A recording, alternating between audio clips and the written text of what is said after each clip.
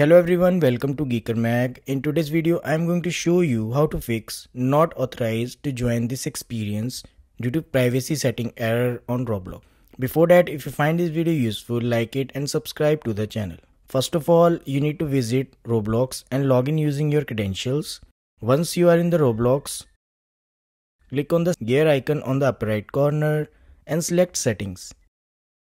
On the left, switch to privacy and content restrictions and then on the right side select content maturity. Under this you will find this slider with different maturity settings.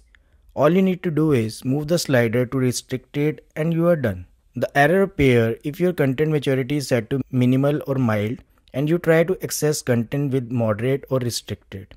So once you set it to restricted, you will be able to access content of all type. Now it is possible that when you move the slider to restricted, you will get a pop-up to verify your age because restricted experience is available for adult age 17 or older.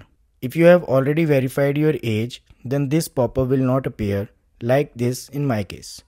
On the other hand, if it's not verified, then you need to click the verify now button. I have covered a detailed video on how to do that. Check the link in a description. The process includes submitting your country government issue photo ID. Once you are done, set it to restricted and you will no longer get the error. I hope this helps. Thanks for watching.